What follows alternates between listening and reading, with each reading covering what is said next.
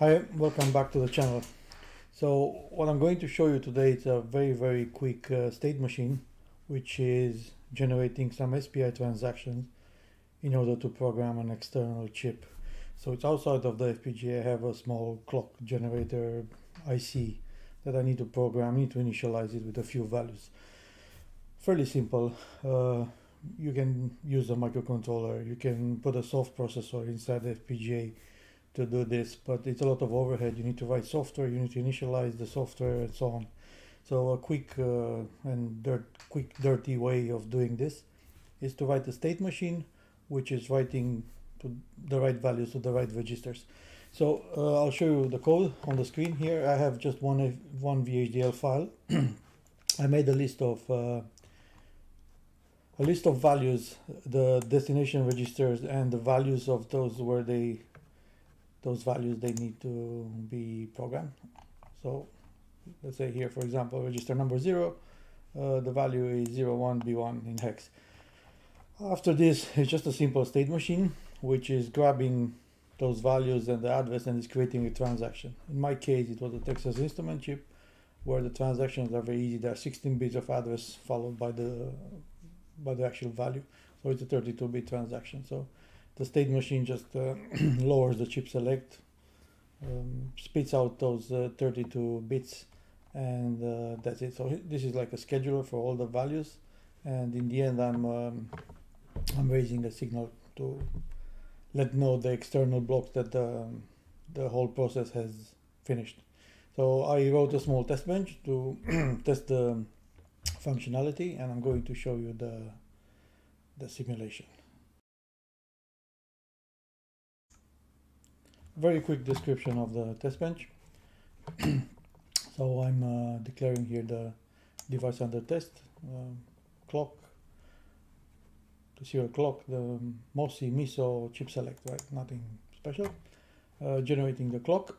I'm capturing everything which comes uh, from the MOSI signal. I'm capture, capturing the, the data into a register, 32-bit register, a shift register, obviously to see if the values that I'm writing externally are what I'm what they're supposed to be. And here I'm just reporting to the screen uh, all the transaction. Okay, here's the simulation. I started the simulation. Uh, you see the the reset was released. the, the clock is running. Uh, zero clock uh, it's flat for the time being. Let's run for let's say 100 I'll type 100 microsecond. Okay, run. so I'll zoom out a little bit. We should see a few transactions here. So I'll zoom out. Okay, so all those, this is a slow clock, right, the zero clock. And those are the captured values. So just zoom out even more so we can see the transactions. Okay, and I'll scroll back. Right, so let's start from the beginning You can see here the chip select goes down, the serial clock comes out, and this is the value. This is what we captured here, what we captured in the, and I'm going to zoom out a bit.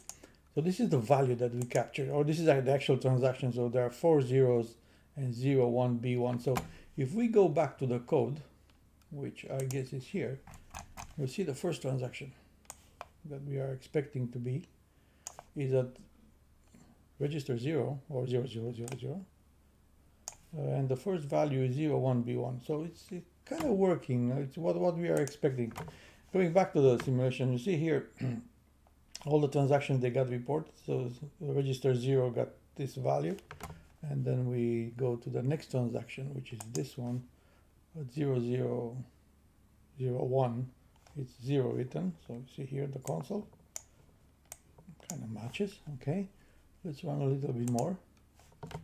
We see here we got register 3 with value of F4. So it seems that it's working. So this is a very quick way, I would say, I wouldn't call it exactly a dirty hack, but it's a quick way to spit out over the SPI some uh, known values without going in uh, writing code and instantiating a soft core or now if you have already a soft core yeah it's easy just use that but if you don't, yeah, why bother writing something complicated when you can just plug a state machine. There is nothing new about this technique, so uh, nothing fancy, just another way of doing things. Thanks for watching and I hope to see you on the next video.